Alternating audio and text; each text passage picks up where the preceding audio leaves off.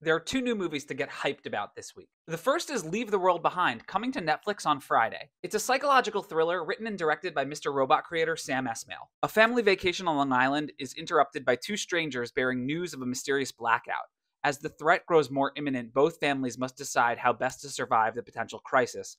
It's got an absolutely stacked cast with Julia Roberts, Mahershala Ali, Ethan Hawke, and Myha'la. As of Monday, it holds a 74 on Metacritic and an 80% on Rotten Tomatoes. The other movie is The Boy and the Heron, opening wide in North American theaters on Friday. This is the latest Studio Ghibli film, directed by legendary animation master Hayao Miyazaki. Mahito, a young 12 year old boy, struggles to settle in a new town after his mother's death. However, when a talking heron informs him of some vital news, he travels through an abandoned tower into another world. The English dubcast is wild. Christian Bale, Dave Bautista, Gemma Chan, Willem Dafoe, Mark Hamill, Robert Pattinson, and Florence Pugh. It's got a 92 on Metacritic and a 97% on Rotten Tomatoes.